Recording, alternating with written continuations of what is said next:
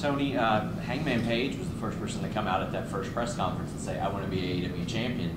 And a lot of people thought maybe he would be. Was there ever any consideration given to that? Who did you, in your mind, when you launched AEW, were you like, first AEW champion? Chris Jericho. And then Jon Moxley and Kenny Omega and so it, it never it never deviated. No, and honestly, if it kind of you look back, it makes they all set up. I Yeah. mean, Chris wrestled Kenny, and then it built to Kenny coming back to wrestle later for the title, teaming with Hangman. Hangman also wrestled Chris. He got the those, and then it built to Chris and Jon, and that's where Jon won the title. And while that was happening, Kenny and Hangman had their partnership, their story, and Jon made all those great defenses through the pandemic and was such a great pandemic champion.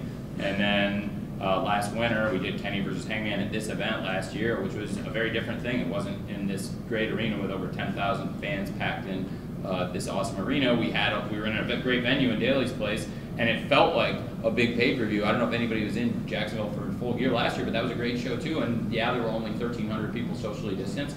But when the Young Bucks won the World Tag Title, when Darby won the TNT title, they were real pops, and the fans in Jacksonville helped us get to this point where this meant something tonight. Last year, Kenny and Hangman had that great match in the Eliminator final, and then we came full circle to this, and I think it all made sense. Kenny won the title and had an amazing reign. He was very close to one year as champion, and there was a question: Is Kenny going to make it to one year as champion, or is Hangman going to be crowned tonight? And the people clearly wanted to see Hangman be crowned, but the, you know when Bryan Danielson won the Eliminator tournament, you had to ask yourself are Kenny and Bryan Danielson going to wrestle again? I know everybody was thinking in the back of their head there has to be a chance. So you're setting up these pieces consciously, obviously, right? Yeah, and even when Bryan Danielson won, I knew it was going to make you all think. Wait a second. And it did, clearly did from the reaction of getting in the room.